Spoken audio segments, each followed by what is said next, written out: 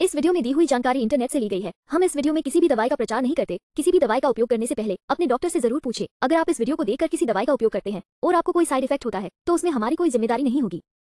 भारतीय चाय choco Muscat चाय एक समृद्ध रचना है, जो ऊर्जा के विस्फोट के साथ अपने आप को एक छोटे से कप पतन का इलाज करने के लिए एकदम सही है। यदि आप चॉकलेट कपकेक पसंद करते हैं तो यह आपके लिए चाय है।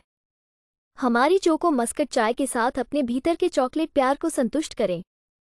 वनीला बीन्स और काकाओ निब्स के साथ दार्जिलिंग ब्लैक टी को मिलाकर, यह एक कप में कैलोरी, चीनी और वसा घटाकर एक क्रीमी चॉकलेट डेजर्ट बनाता है और एंटीऑक्सीडेंट गुणों से भरपूर होता है।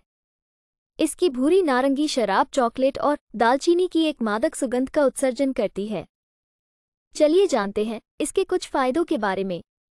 एक दार्जिलिंग ब्लैक टी को वेनिला और कोको निप्स के साथ मिलाकर, यह एक कप में कैलोरी, चीनी और वसा को घटाकर एक क्रीमी चॉकलेट डेजर्ट बनाता है और एंटीऑक्सीडेंट गुणों से भरपूर होता है। दो, ये समृद्ध रचना ऊर्जा के फटने के साथ अपने आप को पतन के एक छोटे प्याले का इलाज करने के लिए एकदम सही है। तीन, इस चाय में कोई कोको पाउडर या चॉकलेट तेल नहीं होता है।